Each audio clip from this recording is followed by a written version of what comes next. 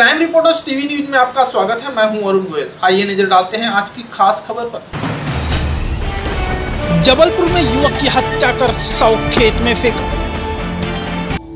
मध्य प्रदेश के जिला जबलपुर के कटंगी थाना अंतर्गत मुरंगवा तिराहा से लगे एक खेत में सीमेंट पोल के टुकड़े से हमला कर एक युवक की हत्या कर दी गई।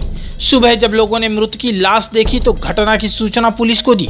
सूचना पर पहुँची पुलिस ने शव को पीएम के लिए भिजवाते हुए अज्ञात के खिलाफ हत्या का प्रकरण दर्ज कर उसकी पतासाजी शुरू कर दी है।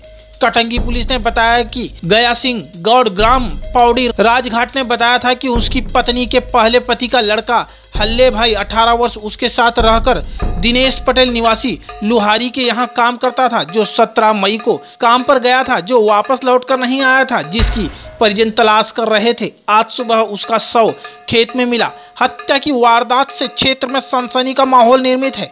हत्या किसने और क्यों की इसका पता भी नहीं चला है। पुलिस मामले की जाँच पड़ताल में जुटी हुई है। हत्या है या किस प्रकार की घटना है?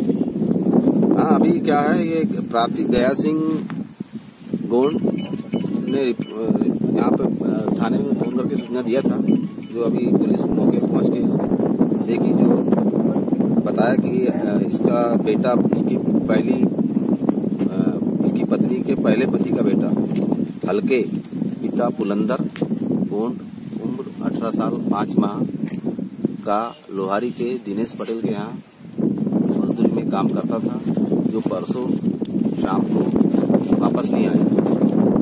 पता किए तो नहीं मिला तो ये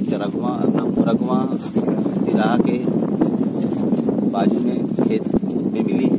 इसके बॉडी के बाजू में पत्थर भी मिला और निरीक्षण से ऐसा लगता है कि किसी अज्ञात व्यक्ति ने सिर पे पत्थर कुचलकर हत्या किया है। अभी कन्फर्म नहीं हुआ है। इसको पंचनामा कार्रवाई करके इसको भेजे कहाँ? डीएम के लिए पीएचसी पाटन।